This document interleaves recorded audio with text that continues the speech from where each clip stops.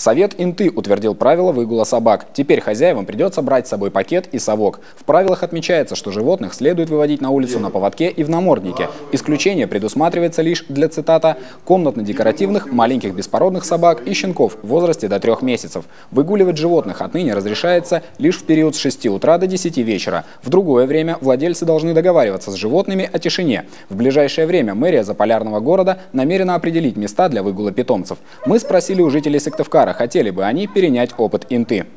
Я считаю, это правильно. Кстати, давно в Сыктывкаре можно было бы это сделать, потому что собаки, извините за выражение, гадят где ни попадя.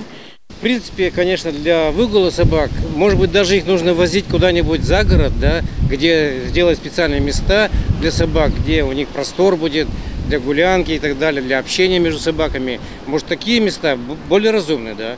Э, место трудно предложить, а вот чтобы культура выгула была, это я бы за то.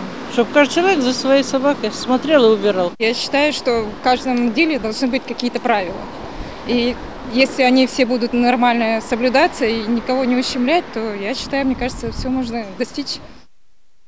Пока интинцев к новому порядку будут приучать добровольно, а с нового года нарушителей ждут взыскания.